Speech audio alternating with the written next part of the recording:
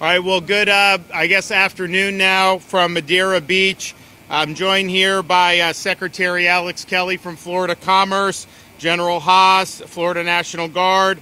We've got Senators Rouson, DiCeglie, and Hooper, Representative Steele, Berfield, Jacques, Chaney, Anderson, Holcomb, uh, Gonzalez, Pittman as well. And then uh, where's Patronis? Is he here? Okay. Patronis is here as well for the um, uh, state CFO. We um, so as of right now, all Pinellas County, anyone that can receive power has power restored. I know they had hundreds of thousands of outages just in here alone. Uh, if you don't get have power, it's because there's something with the receipt at that point. So there's a hundred percent of the accounts are, are going uh, totally in the state.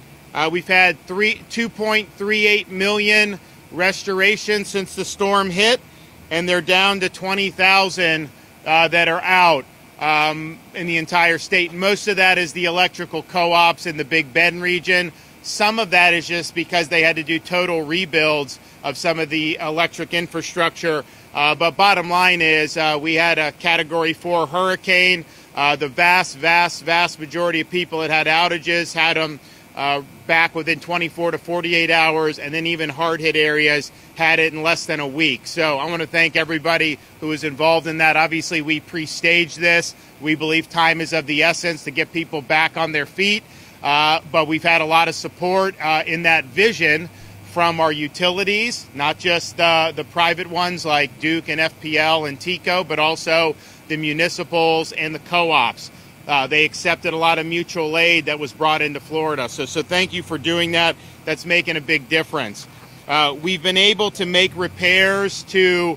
We didn't have a lot of damage of infrastructure in terms of bridges and roads, relatively speaking, for a storm this magnitude. Uh, but you know, we were down in Bradenton Beach, Anna Maria Island, Longboat Key area, and you had Gulf Drive there that um, had damage, had massive amounts of sand and uh, that was going to be a potentially weeks long effort. We did an emergency repairs uh, and opened it up within 48 hours. So that is open for that entire stretch. Uh, and you had five feet of sand in some parts of that of that uh, road, which was really really difficult. So all 16 miles uh, were cleared at the beginning of the week. And I want to thank everybody at FDOT who was able to do that.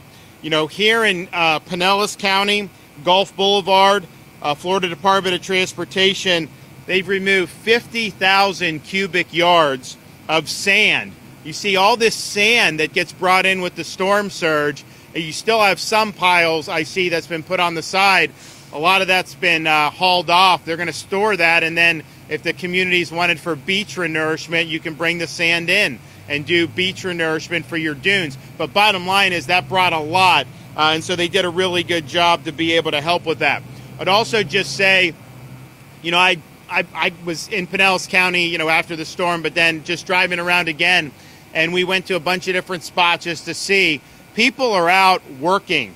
Uh, and not just like crews that are working for government or contractors. You got people out there uh, fixing up their homes, getting the garbage out, getting the debris. The business folks are out. And, you know, this was a lot of damage here, but I'll tell you, people are making progress, and you can see that just from where we were a few days ago uh, till we are all are now, and that is not necessarily the usual way these things go. Sometimes it just sets in. Uh, there's a lot of uh, demoralization and things aren't getting done. There's people out and about here. That's one of the reasons why it's important when you have a storm and people evacuate that they're allowed to get back to their businesses and property uh, and homes as soon as possible uh, because they're out there doing the work. So I was really impressed with what I've seen in terms of the the um, uh, the progress. Really, really positive. Now, Pinellas County, we in the state of Florida have provided, based on requests, uh, he, just here in the county, 326.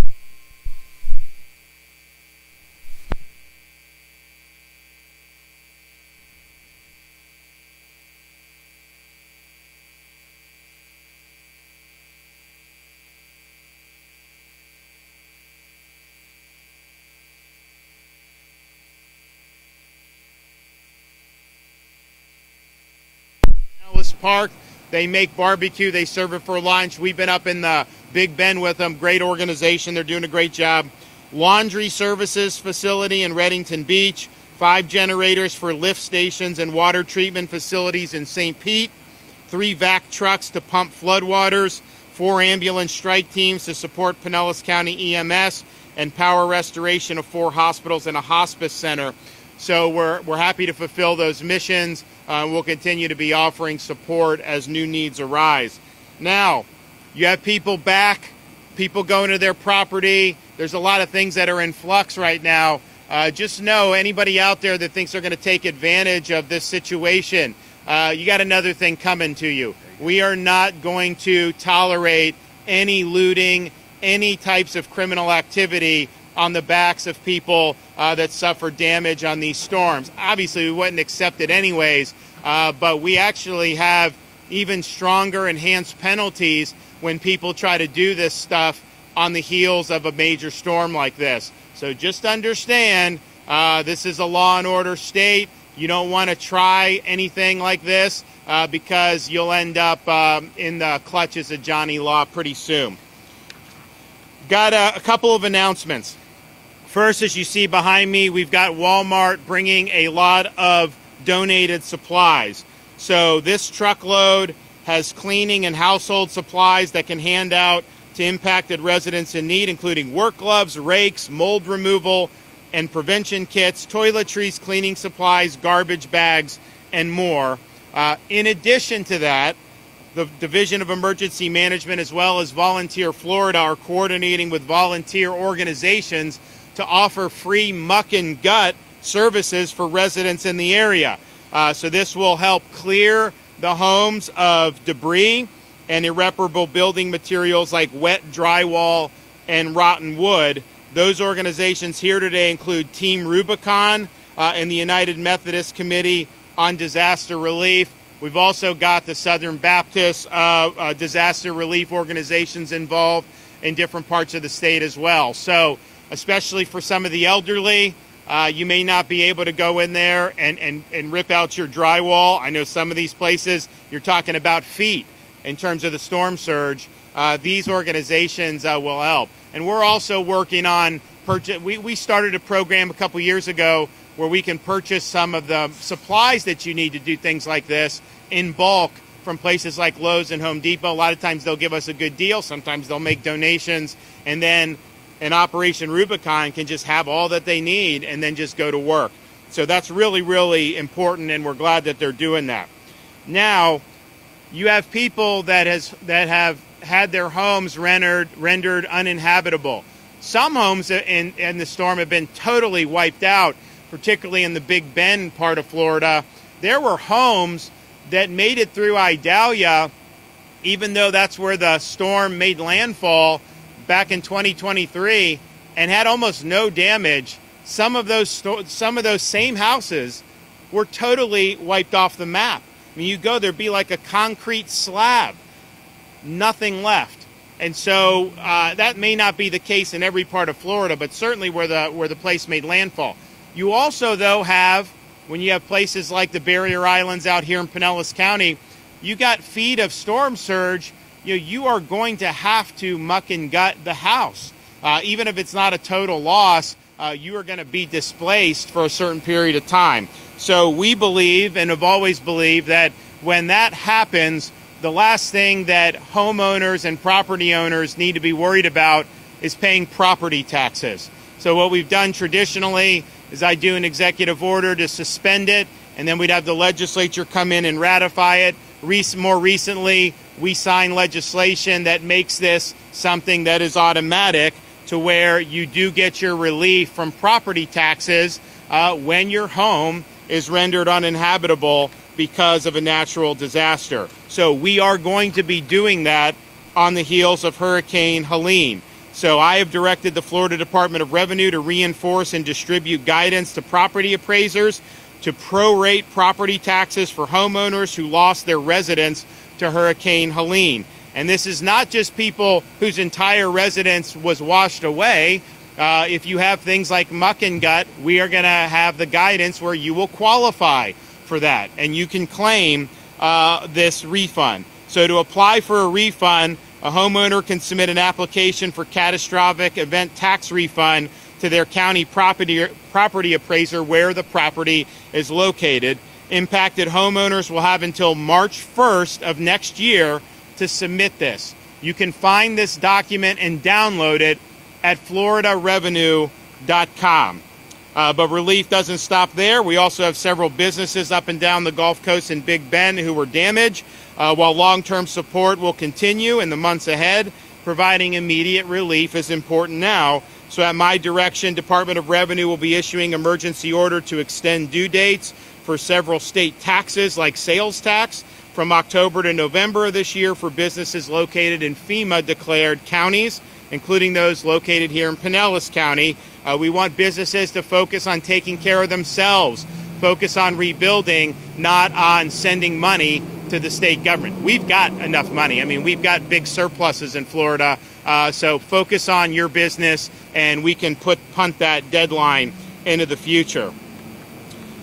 Travel trailers if you want a travel trailer, and there are some restrictions about where you can put it. I mean, we want we strive to have people be able to put it right on their property. That may not be allowed in every instance because of things beyond our control.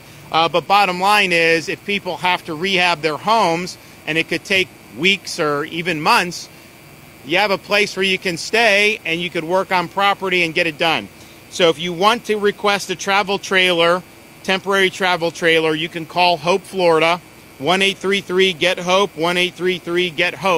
Get Hope, 1 833 Get Hope, and you can apply for a travel trailer. We've already brought hundreds of them and deployed them. We've got, I think we've got 1,500, 1,700 travel trailers just in the state program.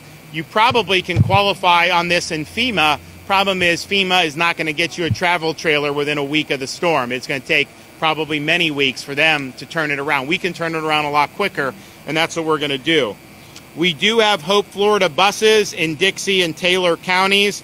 Uh, Dixie's at Horseshoe Beach uh, and Suwannee, and then Taylor's at Steinhatchee Community Center.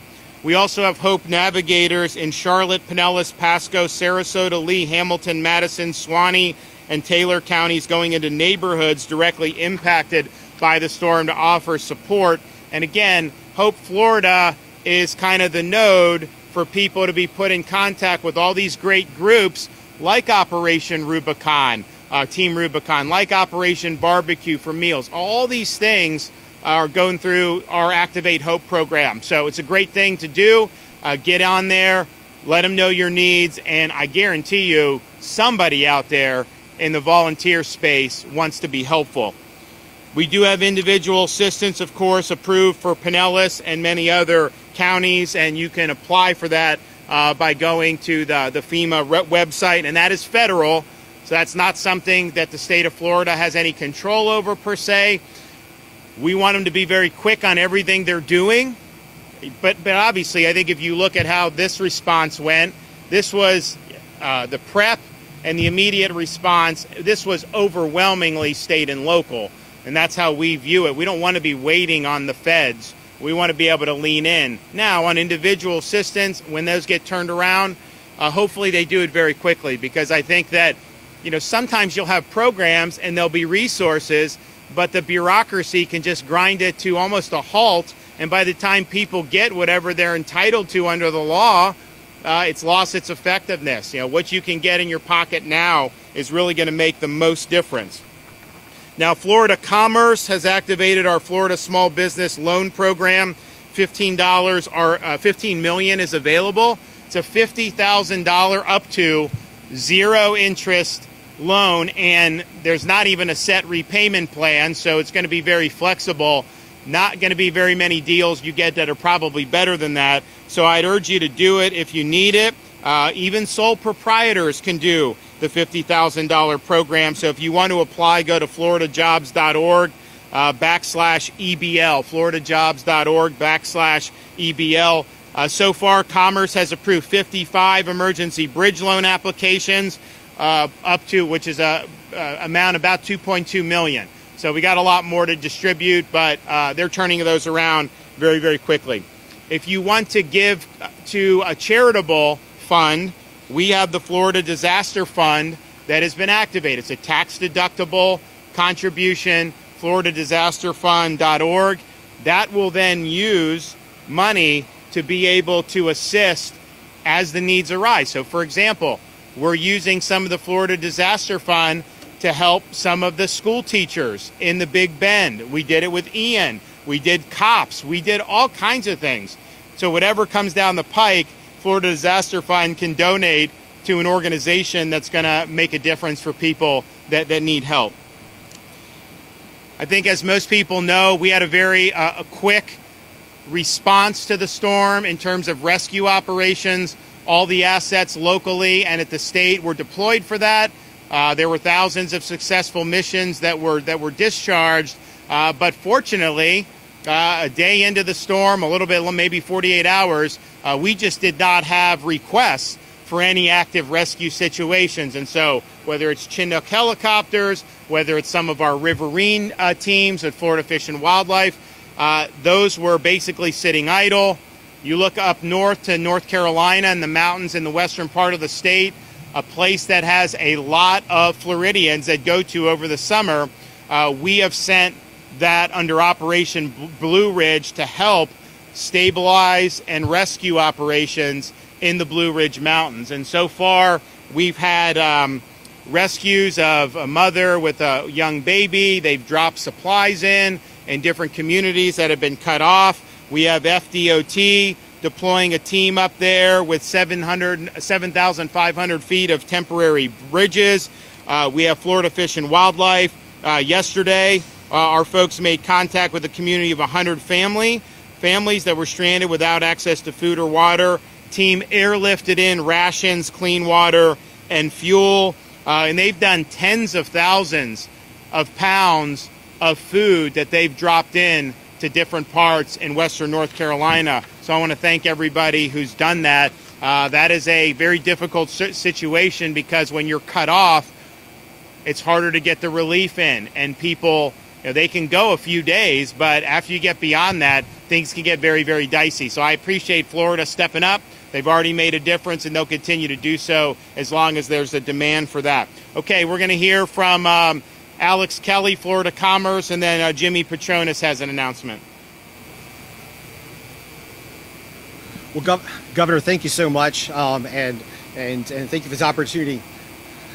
A little closer, Governor. Thank you so much, and, and thank you for this opportunity just to elaborate a little more on um, the response and recovery for our businesses around the state, uh, throughout the state. And Governor, first, just thank you. Um, you you've, you've moved with velocity and purpose uh, and you've charged us to do so to help businesses throughout the state.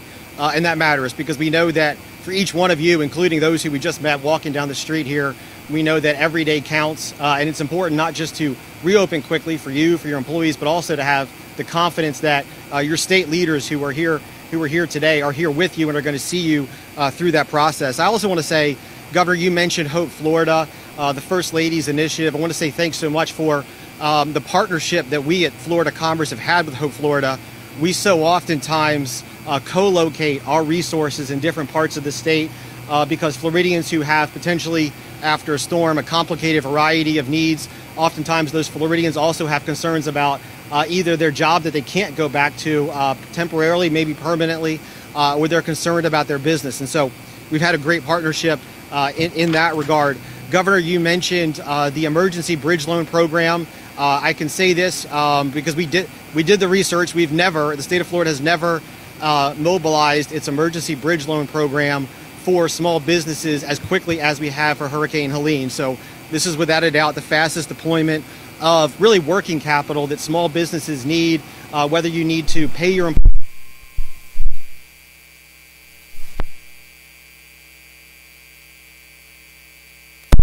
and having that working capital in the bank can give you some confidence to reopen. Again, the governor mentioned those loans are 0% interest loans, uh, so there's no risk uh, involved in taking those.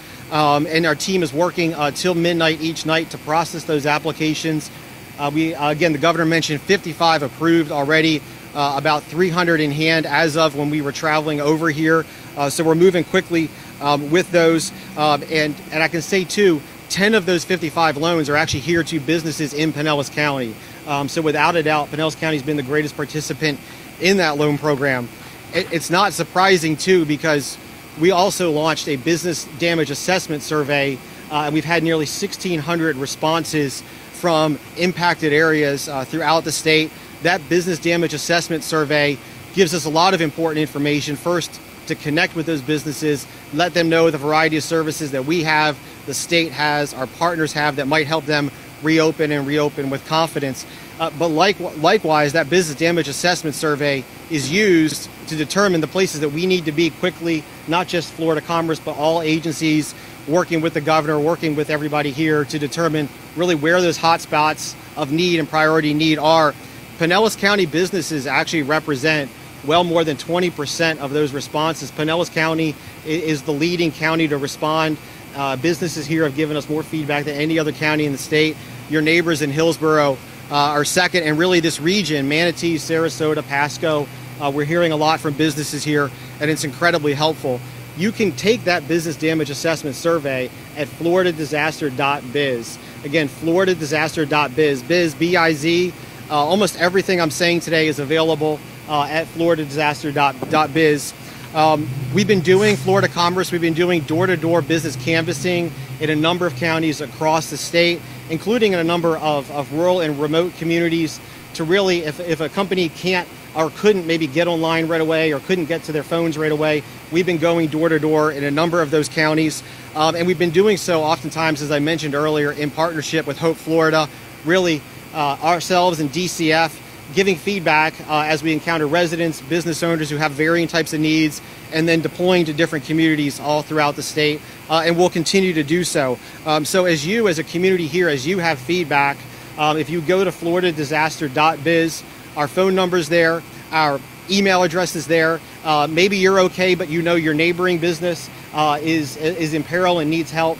Uh, any bit of information is incredibly helpful, um, and we take action quickly uh, and deploy a team uh, to canvass those neighborhoods, talk to those business owners, uh, and find out you know what kind of support is needed. We've also, frankly, been on the phones. We've been doing it the old-fashioned way too, uh, calling those communities where maybe there aren't as many of your sort of larger big box change, but there's more smaller businesses, and we've been on the phone with close to about 2,500 businesses now throughout the impacted areas, finding out a if they're open and b what kind of help they need, and really using that to assess the kind of support they this kind of support they need. You know, in so many communities, it gets overlooked, particularly a lot of rural communities out, out kind of away from here, but in rural parts of the state. You know that that Dollar Tree, that Ace Hardware, that Busy Bee location, that might be the lifeblood of the community. And so, reaching out to those businesses is critical to assess uh, what kind of services are, are needed.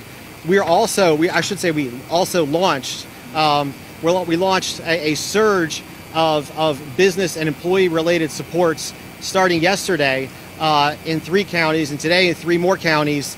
And over the course of a nine day period in 17 counties um, throughout the state, including Pinellas, we launched a surge of support in partnership with our career source boards from around the state and also the state small business development center network uh, to really collectively as a group um, surge in communities and, and cluster and provide that opportunity for businesses that need any kind of uh, advice or guidance on reopening, the financial support that the governor mentioned, uh, or the employees themselves who maybe have maybe have a former employer who they can't go back to work for and they need a new place to work. They need to fill out a job application. Maybe they need some new job training.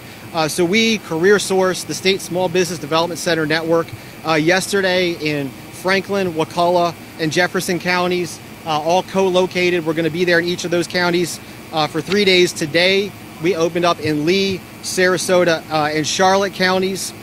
And this weekend, we're going to be here uh, in Pinellas. We're going to be here Saturday and Sunday conveniently, um, all day long. It, uh, we're going to be at the Career Source uh, in Clearwater. So we're going to be uh, at 2312 Gulf to Bay Boulevard in Clearwater at the Career Source location. Again, ourselves, Florida Commerce, Career Source, and the State Small Business Development Center Network so uh, if someone's looking to, and someone really needs to have a, a, sit down and a conversation about their business, the kind of supports they need, our experts, our subject matter experts are going to be there all day long uh, to support those kind of needs. And again, for many of you who maybe have employees who are looking for answers too, uh, we'll be there for them as well. Again, all this information that I'm saying is on our website at floridadisaster.biz. Um, you know, and to that end, if you go to floridadisaster.biz, uh, beyond the business damage assessment survey, again, there's also a link there to the emergency bridge loan program. We're also doing daily 2 p.m. every day private sector business calls. We have been since the day after the storm. Business calls where literally private sector partners and associations from around the state that probably represent and support many of the businesses here, like the Florida Restaurant and Lodging Association.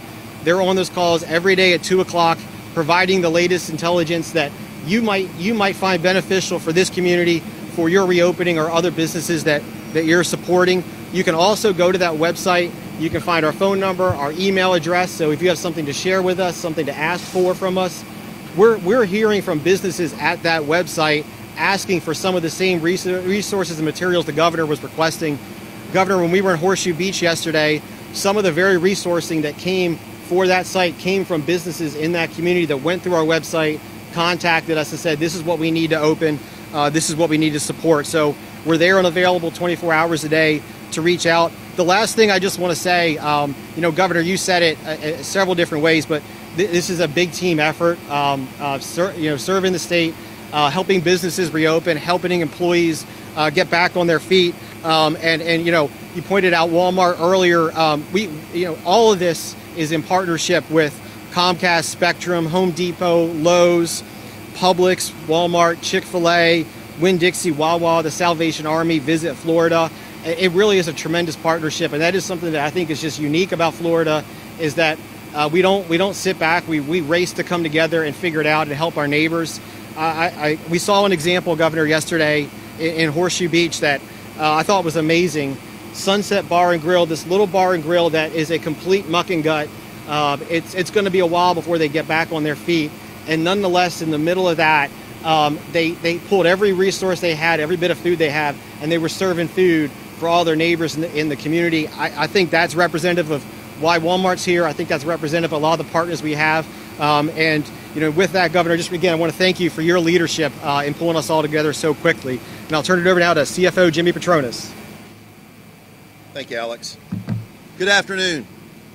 It's times like this, times like disasters like this, the one thing I appreciate about the governor the most, he has no patience. The type of response that we have seen from his resources in this state have been nothing but short of a miracle because his teams work around the clock 24 7 to make sure that the citizens of this state suffer as little as humanly possible. Governor, thank you for your leadership. Those out here that are in the process of filing an insurance claim, this is going to be critical that you're paying attention to what I'm about to tell you. Starting on Friday, Friday, Saturday, and Sunday from 9 a.m. to 5 p.m., we will be doing a insurance recovery village. We'll be at the Clearwater Parks and Recreation Center. That is at 1501 North Belcher Road in Clearwater. It's going to be important. If you do not know what type of insurance you have, please come. You don't know if you have contents, if you don't have windstorm, or if you have flood, auto, come to us. Let us help you solve your insurance claims process. We'll have about 42 different insurance carriers there, and I've told the insurance carriers if you are going to participate in our insurance village, you must write checks on site.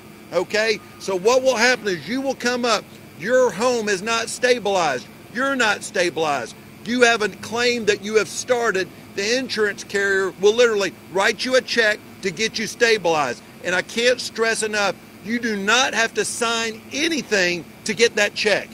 You should not sign a single document from anybody that approaches your home. If somebody approaches your home and asks you to sign anything, politely tell them no. My law enforcement is in every single neighborhood in the affected areas of this state, running off the bad actors that are trying to get in between you and your insurance claim. This is what my office does. 1 877 my FLCFO. Call that number, but more importantly, if you're watching this and you've had effects from the storm, come to our insurance village in Clearwater Friday, Saturday, or Sunday. Bring whatever documentation you got. If you got photos on your phone, bring it. We're going to start the rebuilding process, and we're going to start that by getting money in your hands from your insurance carrier.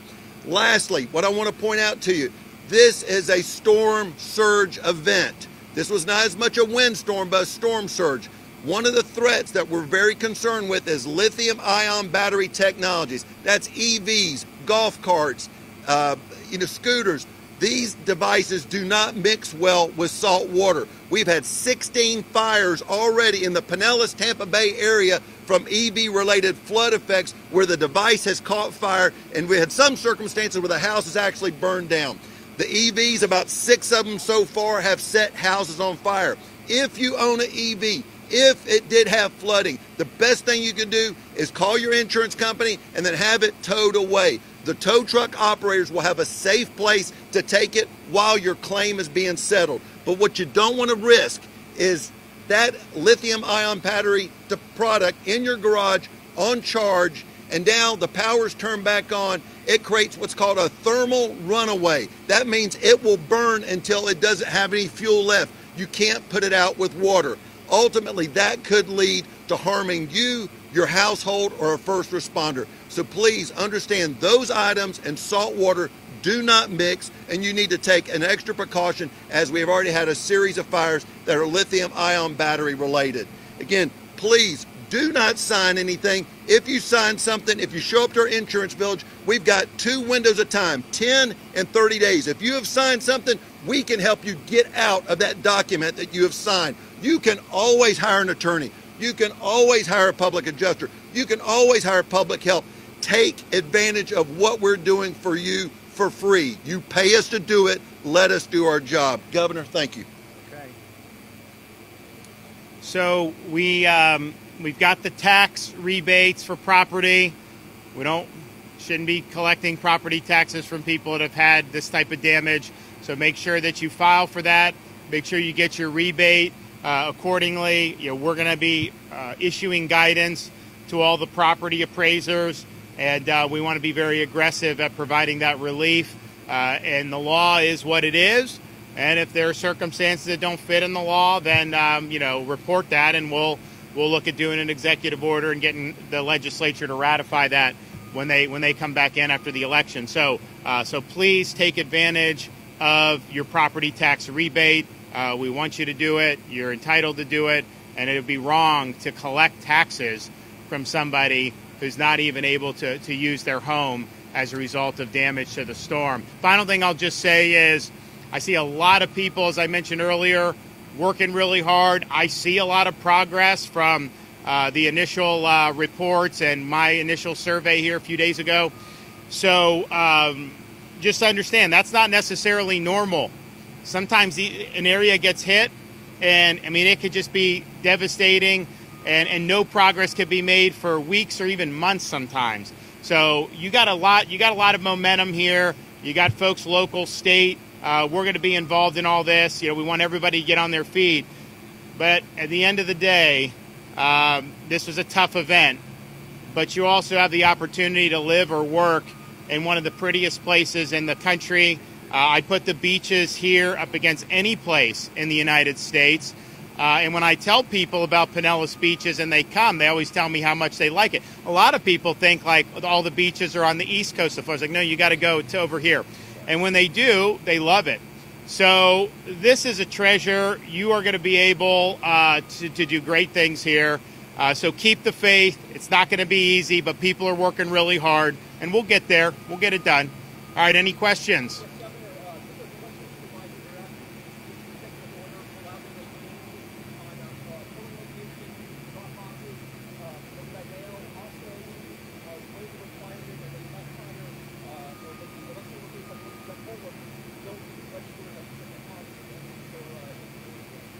So we'll, we'll look at all the different requests.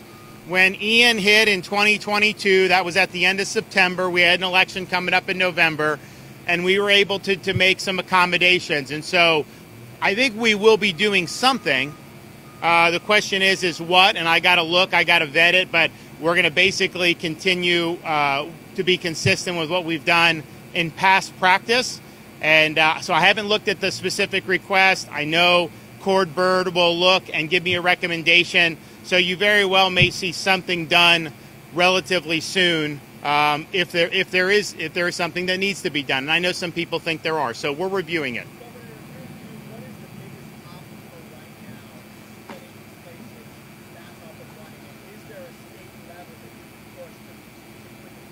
Well, I think a lot of it is just there was a lot of damage, right? I mean, the storm. If you look at if you look at the Pinellas beaches, I don't think the storm got within hundred miles, uh, and so as Jimmy said, it wasn't as much of a wind event as a, as a water event. Uh, but then you look at where it made landfall as a Category Four, and I talked about some of the homes being totally obliterated, but there's like a 40, 50 mile stretch there where there's not that many homes relative. Here, you've got a lot of property. So there's just a lot of damage that was done. And when you're talking about rehabbing homes, muck and gut, uh, that is something that, that just takes some time. So that's why we've got Team Rubicon. There they are right there. That's why we're bringing in supplies and buying supplies so that people are able to do this as quick as possible. But I do think that because it's a more populated area, there's a limited number of people. If you need to hire someone, there's a limited number of people that can do that. Uh, and so we just want to make sure people are able to get this done as quickly as possible. One of the things I'm concerned about is potentially these ports getting hung up. I think it's totally unacceptable to try to intentionally deprive people of the supplies they need to be able to rebuild their homes when they've been displaced at, an, at a natural disaster. We should be doing all we can. The federal government should be doing all they can to make sure all the supplies continue to come in here unabated. And there is the prospect of things that are critical for the rehabbing and recovery of here and other parts of Florida that may get hung up uh, in some of this work stoppage. So now is not the time. You already have people that are reeling, you have people that are on their backs. Uh, let's do everything we can to accelerate the relief. Make sure that they have the equipment, make sure they have the supplies that they need to be able to rehab their properties and rebuild their homes. We are looking at if there's anything as in terms of the Florida ports and, and my responsibility and, and authority as governor to facilitate. Uh, I'm not sure that there is, quite frankly. I mean, because some of these things are contracts and you've got different stuff with, with feds. So we'll see. But anything I can do, I'm going to do to make sure that the supplies continue going. But that is a big concern. I mean, just think about it. This is tough, anyways, because you got a lot of different property that needs uh, that needs attention. Uh, but if all of a sudden this stuff starts getting backed up and it starts getting delayed days, weeks, or even more, you know that's going to be intolerable. So we have an emergency situation in our country, not just in Florida, but in Georgia, North Carolina, and Tennessee in particular. So we should be doing all we can as Americans to make sure that the supplies are continuing to be delivered to our ports and delivered to where they need to be so that they can get put into practice. So I'm committed to pulling whatever levers I can to make sure that that happens. Uh, but I think it would be really, really bad luck uh, for the Biden Harris administration to allow supplies to just be sitting uh, in the Atlantic Ocean, just on ships that are just idling when you have people, not just here in Pinellas County, but up our entire Gulf Coast and Big Bend, uh, who need it. So it is a concern. Uh, it's not something that will be good if they allow this to happen, and I'll do whatever I can to avert it.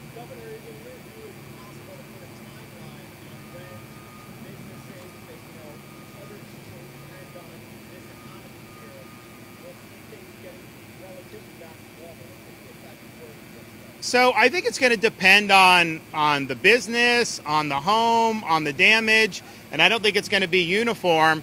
But what we're committed to doing is getting rid of any red tape or bureaucracy that would inhibit a business from getting back uh, to business. So, for example, if you have, we were in Steinhatchee up in the Big Bend, relatively small community, got hit by Hurricane Idalia.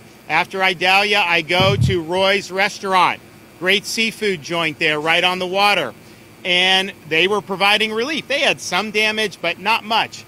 This time, Roy's Restaurant is basically gone, uh, total destruction. So, you know, these are folks who are resilient and they take it in stride and they want to put their best foot forward. So they want to be able to use a mobile kitchen to be able to serve folks in the community. Well, there's restrictions in terms of whatever the laws and local regulations. And I said that's unacceptable. set up your, your mobile kitchen, set up your, your food truck, do whatever you need to do to get back on your feet. Uh, and so we'll clear whatever roadblocks are there under my uh, emergency authority. And I know if we have to make legislative changes, uh, you'll see that. But but those are the types of things we want to do. So that will be you know. So they're going to get a food truck at Roy's. They're going to be they're going to be cranking there. I mean that's not hundred percent back because I got to rebuild the restaurant. But they're going to be able to generate revenue. It's going to be important for the community to have a landmark that's operating. So there's a whole bunch of different ways to kind of approach this. It may be incremental in some places, but I think the important thing is is we've worked really hard to have a very quick response. Your local folks worked, the state agencies, and so you're in a position uh, to be able to get this done sooner than in many other parts of the country you would have been. And so we're just going to keep pressing forward. Yes, sir.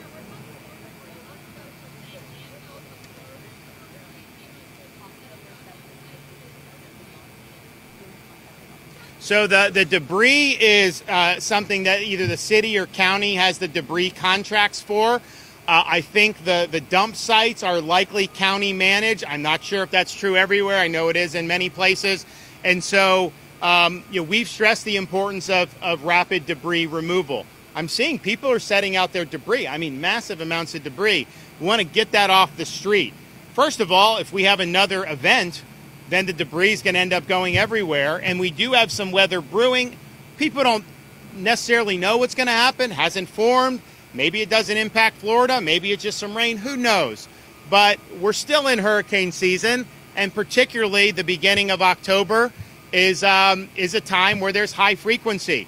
So we're not out of the woods with that. So I think the debris is a priority. What I've told Kevin Guthrie, our Division of Emergency Management Director, is Obviously, debris is a, is a municipal county issue. They have contracts. We told them, make sure you have your contracts lined up.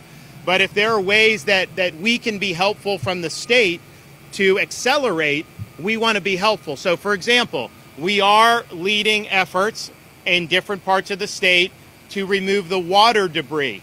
You have some places, you know, you guys didn't have as many total washouts as you did in the Big Bend. But uh, these homes just fell into the water, a lot of them, washed into the water. Uh, boats everywhere. So, you know, that debris needs to be cleaned up. And the water debris is very challenging. So we're doing that. We're putting resources on for that. But the debris removal uh, is something that's reimbursable. We've also utilized, and we probably could do something here, the low security, low risk inmates, Department of Corrections, they do prison labor anyways. So they're bringing them to do debris removal. The good thing about that is you can use that on private property, not just on public. You know, there's bureaucracy involved with this debris. I mean, I become very well knowledge, uh, you know, well well versed in this, unfortunately. Because, but if there's a debris in the street, you can get it FEMA reimbursed. No, if you're in like a private community, then becomes more of an issue, right? In terms of reimbursements. These guys can go in on private and they can do it and it's basically almost for free. So we're utilizing that. So I, I believe the debris is a priority. I told Kevin, you know, lean in on the debris removal. Uh, he is doing that. But a lot of these sites, um, are likely going to be sites that are going to be controlled by local. If there's any de- de- uh, Department of Environmental Protection, you know, I've told them I want you guys facilitating the removal of this debris. It's very important to do. Uh, first of all, you could have the businesses open if you have debris. It's just not good uh, in terms of the overall mood. Getting that debris off helps bring life back. Uh, and so it's important in of itself, but I think it's also important to lift people's spirits. So we're here to help. We think it's important, and we're willing to put resources uh, to bear to uh, to get it get it done quickly. Yes.